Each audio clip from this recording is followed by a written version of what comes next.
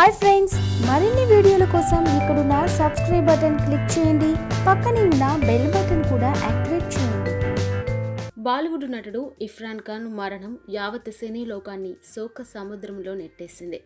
చాలా కాలంగా క్యాన్సర్తో పోరాడిన ఆయన ఏప్రిల్ ఇరవై తొమ్మిదవ తేదీన ముంబైలోని కోకిలాబెన్ హాస్పిటల్లో తుది శ్వాస విడిచారు.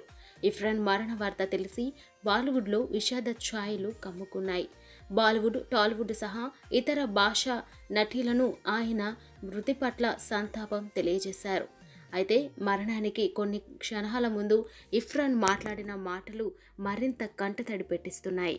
కెరీర్లో ఎంతో కష్టపడి పైకొచ్చిన ఇఫ్రాన్ ఖాన్ తల్లి అంటే ఎంతో ప్రేమ ఉండేదట.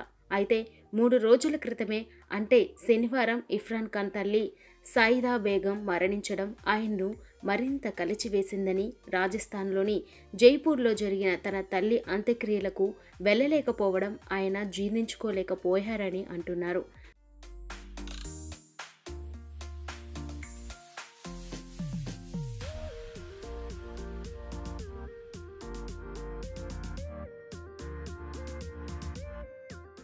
ఇఫ్రాన్ బాంధవులు లాక్డౌన్ కారణంగా వీడియో కాన్ఫరెన్స్ ద్వారా తల్లి అంత్యక్రియలను చూసి ఇఫ్రాన్ చాలా బాధపడినట్లు సన్నిహితులు వెల్లడించారు.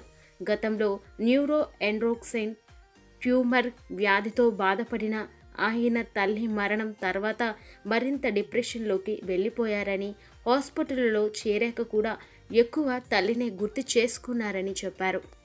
ఇక చివరకు తన మరణానికి కొన్ని క్షణాల ముందు నన్ను తీసుకువెళ్ళేందుకు మా అమ్మ వచ్చింది అని ఇఫ్రాన్ అనడం జీర్ణించుకోలేకపోయామని ఆ సమయంలో ఇఫ్రాన్ పక్కన ఉన్న బంధువులు పేర్కొన్నారు. ఇఫ్రాన్ ఖాన్ మృతి చెందిన కొద్దిసేపట్లోనే అంత్యక్రియలు నిర్వహించారు.